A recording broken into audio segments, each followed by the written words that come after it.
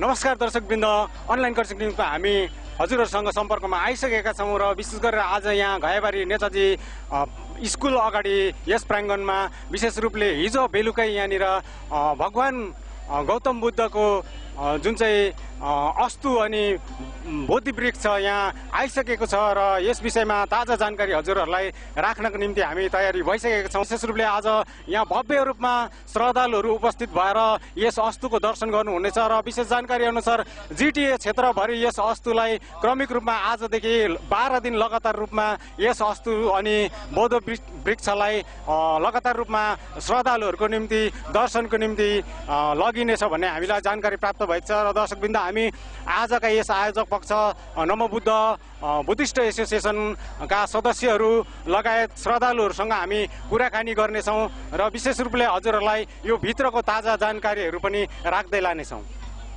र दर्शकवृन्द आजको जुन यो पावन दिन छ जुन प्रकारले यहाँनिर अ, स्कुलको यस प्राङ्गणमा यस बुद्ध अस्तु अनि बोधि वृक्षको यहाँ दर्शनार्थ श्रद्धालुहरू खुबै भिडभाडको साथमा यहाँनिर उपस्थित भइरहेको छ र दर्शन गरिरहेका छन् र हामी समक्ष अहिले हुनुहुन्छ। यसै अस्तु अनि बोधि वृक्षलाई उहाँबाटै नेतृत्व गरेर आउनुभएका श्रीलङ्काका धर्मगुरु रेभरेन्ड धर्मगुरु भन्ते नन्दलोक र उहाँसँग हामी यस विषयमा विस्तृत जानकारीको निम्ति तयारी भएका छौँ र उहाँसँग उहाँसँग हामी यसको विशेष जानकारी लिनेछौँ। र विशेष सर्वप्रथम उहाँलाई हामी स्वागत जनाउँदछौँ र तपाईँलाई स्वागत छ.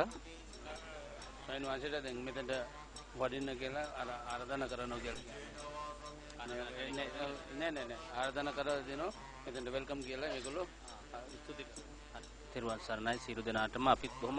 ne ne aradana kara dino meten dah welcome gela megolo ස්තුති තෙරුවන් සරණයි සියලු දෙනාටම අපිත් බොහොම සතුටු වෙනවා මේ බෞද්ධ පිරිස් අතරට මේ වගේ ඇවිල්ලා උපකාර කරන්න ලැබීම ගැන. रोहन शरण है भने मतलब तिन अ, तिन तिनवटा शरण है बुद्ध धर्मको शरण भन्नुभयो पहिला सुरु उहाँहरू नै खुसी हुनुहुन्छ यहाँनिर सबै राम्ररी व्यवस्था देखेर यहाँ अ, बौद्धहरूलाई सबैलाई दर्शन दर्शन ल्याएको उहाँहरू नि अ, हार्दिक अभिनन्दन गर्नुहुँदैछ र दर्शकवृन्द जुन प्रकारले यहाँनिर उहाँले हाम्रो स्वागतलाई स्वीकारिसक्नु भएको छ र विशेष गरेर आजको यो कार्यक्रम सम्बन्धी विशेष उहाँलाई हामी यो प्रश्न राख्न चाहन्छौँ कि जुन प्रकारले यो बोधि वृक्ष अनि बुद्ध भगवानको जुन अस्तु यहाँनिर हाम्रा श्रद्धालुहरूको निम्ति यहाँ ल्याएर दर्शनार्थ जिटिए क्षेत्रभरि घुमाइनेछ यस सम्बन्धी विशेष कुन रूपले कसरी अनि कस्तो प्रकारले ल्याइयो त्यसबारे हामी उहाँसँग हामी प्रश्न राख्नेछौँ। දෙන් කෝමත ගෙන්න්න ගත්තේ ඒ සේරම ලංකායින්දලා වඩම් බය කොහින්දල් ගෙන සේරම පොඩ්ඩක් විස්තර කර දෙන්න කිල්ගෙන මම පරදර තන දෙනවා. බුදුරජාණන් වහන්සේගේ ධාතුන් වහන්සේලා වැඩිම ප්‍රමාණයක් තිබෙන රට ලංකාව. ඒ වගේම තමයි බුදුරජාණන් වහන්සේ පරිනිර්වාණය වන විට දෙවියන්ට සහ සක්‍ර දේවේන්ද්‍රයා ඇතුළු පිරිසට කියලා තිබුණා මේ බුදු ශාසනය ලංකාවේ පිහිටනවා කියලා. අද බුදුරජාණන් වහන්සේ පාවිච්චි කළ පාත්‍රය ඒ වගේම ලලාට ධාතු, ග්‍රීව ධාතු, අ, අකු ධාතු, අ, දන්ත ධාතු ආදී ගොඩාක් ධාතුන් වහන්සේලා ලංකාවේ වැඩ ඉන්නවා. ඉතින් අපි අ, පුරාණ විහාරස්ථාන මේවා පණ වගේ ආරක්ෂා කරනවා. ඉතින් අද මම මේ ස්ථානට එන්න ප්‍රධානම හේතුව චන්දිම. අ, චන්දිම ගොඩාක් මහාබෝධි සමාගමට සේවය කළා. ලංකාවේ හාමුදුරුවරුත් ගොඩාක් පිරිස චන්දිම අඳුරනවා. එනිසා අපිට කිසිම අවිශ්වාසයක් නැහැ. අපි අපේ සොසයිටිකට කිව්වා අපිට මෙහෙම ගෙනියන්න ඕන ඒක එකක් ඡන්දෙමට ගරු කිරීමක් රෙස්පෙක්ට් කරන එකක් ඒ වගේම තමයි එයාගේ ගම ඒ ප්‍රලාතේ ප්‍රදේශීය වාසීන්ට බුදුහාඳුරන්ගේ ධාතුන් වහන්සේ වන්දනා කරගන්න සලස්වන එක ලොකු පින්කමක් කොට අපි සලකනවා. भगवान् बुद्धले त्रिपिटकमा पहिल्यै सन्धान गर्नुभएको छ। आजभन्दा दुई हजार पाँच सौ साल अगाडि। कि भगवान् बुद्धको जति पनि धातुहरू सबसे ज्यादा श्रीलङ्कामा नै हुन्छ भनेर उहाँले त्यति बेला नै भन्नुभएको। अहिले पनि वहाँनिर भगवान् बुद्धको केश धातु भगवान् बुद्धको दान दान धातु के अरे भगवान् बुद्धको के अरे यो निदा निधारको धातु भगवान् बुद्धको पात्र धातु भगवान् बुद्धको यहाँ गलाको धातु सबै वहीँ राखेको छ। त्यो अरू पनि थुप्रो वहाँनिर सबसे ज्यादा श्रीलङ्कामै छ। हुनु के अरे भगवान् बुद्धको धा जति पनि वस्तुहरू छ उनी उनी राखेको छ। यहाँनिर ल्याउनुमा अब म उहाँ भन्तेलाई चाहिँ पहिलादेखिको मैले चिनेको कारणले गर्दा भगवान् भन्तेले भन्नुभएको मेरो बारेमा भन्नुहुँदैछ। त्यो त्यो ज्यादा ज्यादा त मेरै बारेमा भन्नुहुँदै थियो त्यो चाहिँ अब के भन्नु है? आफ्नो आफ्नो बारेमा आफै भन्नु सकिँदैन। उहाँको चाहिँ यसरी विस्तार। उहाँको भण्डार बेला भन्ने जग्गा छ। त्यहाँनिर एल डिस्ट्रिक्टमा चाहिँ उहाँहरूले उहाँहरूको पुरानो मन मन्दिरहरू छ। त्यो चाहिँ रजविहार भन्छ। रजविहार भनेको चाहिँ राजाहरूले बनाएको मन्दिरमा चाहिँ भगवान् बुद्धको अस्तुहरू राखेको छ। त्यस्तै उहाँ भन्थे भन्तेको बिहार पनि रजविहारै हो। त्यहाँबाट ल्याएर चाहिँ यहाँनिर यहाँको मान्छेहरूलाई यहाँको दर्शनार्थीहरूलाई दर्शन गराउनु ल्याउनु भएको र विशेष गरेर हामीले जान्नमा है सुन सुनेर आउँदाखेरि बुद्ध भगवान्को जुन चाहिँ सम्पर्क यता लुम्बिनी अनि कपिल वस्तु है छ तर श्रीलङ्कासँग त्यो सम्बन्ध चाहिँ कसरी गाँसिएर चाहिँ यो वस्तुहरू श्रीलङ्कामा रहन गयो त्यो विषयमा त्यसको बारेमै भनिदिनु होला है उहाँहरूलाई चाहिँ।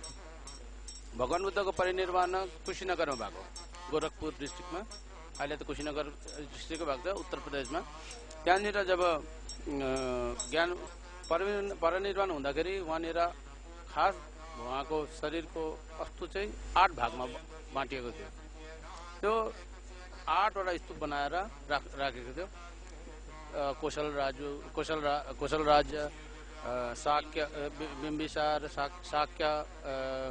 कौद कौद मल्ल मल्ल लिच्छवी यिनीहरू गरेर आठवटा राजाहरूले बाँड्नु भएको थियो। त्यो उहाँबाट त्यो धातु लगे स्तूप के अरे शारीरिक धातु लगेर स्तूप बनाउनु भएको थियो। त्यो चाहिँ सम्राट अशोकले सबै तोडेर तोड्नु भएर चौरासी हजार स्तूप उहाँले बनाउनु भयो। त्यहाँबाट जब मुसलमानको आक्रमण हुँदाखेरि उहाँहरूले अ, मुसलमानले जब पुरा क्षतिग्रस्त गर्दाखेरि जुन चाहिँ निक्लेको धातुहरू चाहिँ ज्यादा जस्तो श्रीलङ्कामा पुगेको छ अहिले चाहिँ। කාලේ ධාතුන් වහන්සේලා මේ ඉන්දියාවේ ගන්න කෙනෙක් නැහැ. ඉතින් දන්න දන්න කෙනා මොකද කරන්නේ ලංකාවට දුන්නා. රජවරු, හාමුදුරුවෝ. බුදු සෑහෙන කොට තාම තියෙනවා එළියට ගත්තේ නැති. ඉතින් හම්බෙච්ච වැඩිපුර මේ නිසා අරව ඔක්කොම ලංකාවට යනවා පස්සේ කාලේ. त्यति बेला मुसलमानको जब यहाँनिर आक्रमण भइसकेपछि यहाँको बौद्धहरूले यहाँको अब अ, ज्यादा जस्तो चाहिँ त्यसलाई मुसलमानैहरू थियो यहाँनिर है इन्डियामा यहाँनिर कोही लिने मान्छे नहुन कारण त्यति बेला चाहिँ उहाँनिर त्यति बेलैदेखिको थियो उहाँनिर चाहिँ बौद्ध। बौद्धहरूले उहाँ आरक्षकको लागि उहाँहरूले माग्नु भयो र उहाँ उहाँ सबै मन्दिरमा या गुम्बामा किनभने पाली भाषामा चाहिँ रजमा विहार भनेको चाहिँ विहार भनेको चाहिँ मन्दिर हो या गुम्बा हो। त्यो रजा महाविहार राजाहरूले बनाएको गुम्बाहरूतिर चाहिँ उहाँहरू राख्नु भएको छ। आरक्षित गरेर उहाँनिर म्युजियमतिर राख्दैन सबै आफ्नो आफ्नो गुम्बामा या मन्दिरमै राखेको हुन्छ। र विशेष गरेर हाम्रो श्रद्धालुहरूले होइन यो भगवान् बुद्धको अस्तुलाई दर्शन गर्दा है ए यसको अनि बोधि वृक्षको दर्शन गर्दा पाउने जुन चाहिँ जुन आशीर्वादहरू छ है त्यो चाहिँ के के हुनसक्छ होला? के यो यसलाई दर्शन गरेर चाहिँ के गर्न के पाइन सकिन्छ होला जीवनमा? Then, uh, उहाँ- उहाँबाट then यहाँ यहाँ के है ना then अरे सामान्य में वैंदाम बस से आ- आशीर्वाद लाम बस से मुनाद लेबन हो आशीर्वाद है इमें क्या ना आहान हो क्या ने then वो दिन वहाँ से वंडम वाला तीनो रातुन वहाँ से तीयला तीनो लेकिन मुनाद आशीर्वाद है Lebon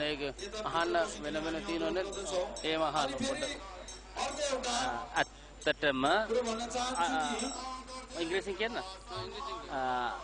When we respect to Buddha, Bodhi, Bodhi is the plant given for the wisdom. When we worship, we believe and uh, good energy because uh, we have this thing only from Buddha, Bodhi and relics. Uh, that is very good for the concentrate mind, concentrate mind. And uh, if somebody can respect to worship the relics, and if somebody can puja flower or things for, that's look like uh, for the Buddhas. We did for the original Buddha, like that's happy, living Buddha. Buddha say if somebody can do this respect, then it will be it, it is the for the Buddha's respect.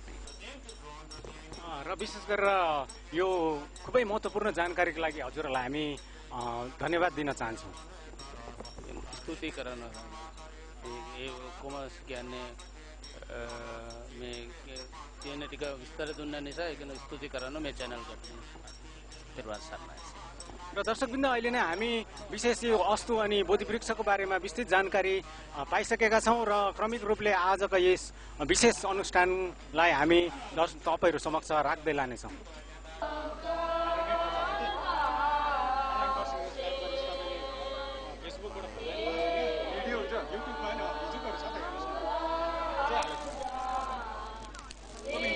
बागुरा दिएर